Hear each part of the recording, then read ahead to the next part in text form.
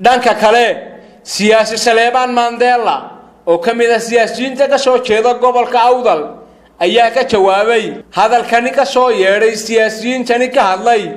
Arrimaha la xidhiidha dhulka danta guud iyo sidoo kale xafiiskii barasaabka gobolka awdal oo laga iibiyey. Mid ka mid a ganacsatada ka soo jeeda gobolka awdal ayaa waxa uu siyaasigaasi sheegay in kuwaasi ay yihiin kuwa sifa sharci darro ah u eedaynaya ganacsatada ka soo jeeda gobolka awdal dhanka kale eedo ayuu u jeediyey.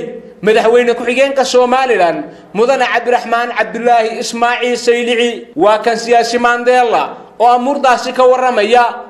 Aada iyo aad ayaan ugu xumahay in dad ama siyaasiyiin beeshayada ka soo jeeda ay sifo khaldan u turjumaan dhulka la iibiyey ee gobolka awdal ama magaalada boorama ku yaalla marka aynu laba arrimood ka hadalno midiwaa sifaha sharciga ah ee lagu iibiyey midna waa dastuurku muxuu siinayaa madaxweyne ku-xigeen saylici horta dastuurku sidaan soo sheegay waxba ma siinayo madaxweyne ku-xigeenka laakiin sifaha sharcigee lagu iibiyey waxa weeye dhulku wuxuu ahaa dhul dowladeed dhul ay dowladda hoose xakunto.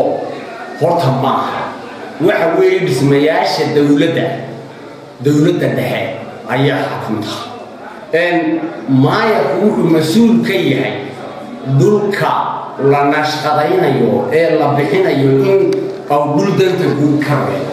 Muxuuba kaga hadli dhul ama dhismayaal gaboobay oo ingiriiski lahaa oo la iibiyey dhulkii beerahii ee u nashqadeeyey dhulkii dantii guud buuba cunay maayar waaba dhulka u ka hadleen wasaaradda howlaha guud ayaa dastuurku siinayaa inay mas'uul ka tahay dhulka qaranka iyo dhismayaalka qaranka.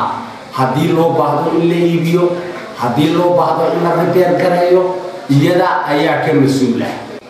Dhammaan dadkani waa dad sifayaal qaldan uga soo horjeeda ganacsadayaalka horou marinaya gobolka ganacsadayaalka laga iibiye dhulkaasi.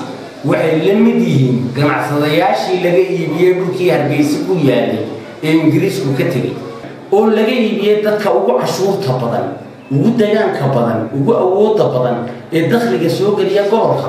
Muxuu uga hadlayaa madaxweyne ku-xigeenku? Madaxweyne ku-xigeenku wuu qaldan yahay. Dad caynkaasana inuu soo dirsado dee ma aha madaxweyne ku-xigeenku waa inuu ku ekaadaa awooddiisa ah inuu yahay inuu matelo marka madaxweynuhu maqan yahay.